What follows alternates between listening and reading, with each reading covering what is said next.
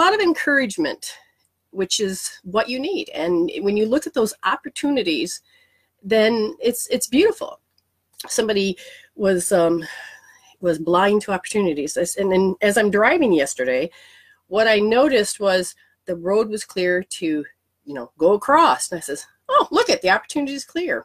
In fact, I think my husband said said that, but it was like, "Oh my God, I'm now."